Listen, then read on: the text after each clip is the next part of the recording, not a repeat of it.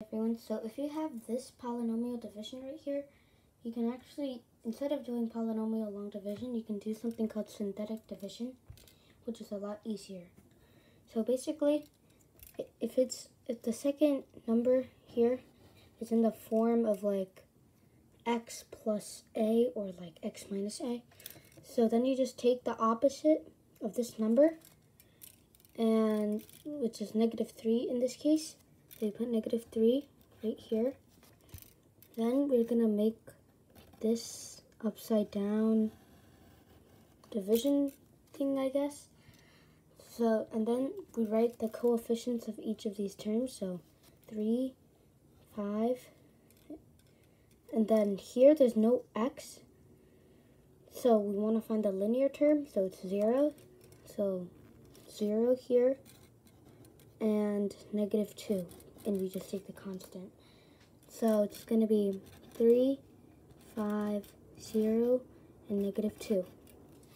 So now, this is where you bring down to 3, just the first number here, and then you do negative 3 times 3, which is negative 9. Then you add 5 and 9, negative 9, and then you get negative 4. Then you multiply these again, you get 12. Add these, you get 12. And then you multiply again, so you get negative, um, 36. And then you get negative 38. And this last number right here, this is your remainder. So it's going to be equal to 3x squared minus 4x plus 12.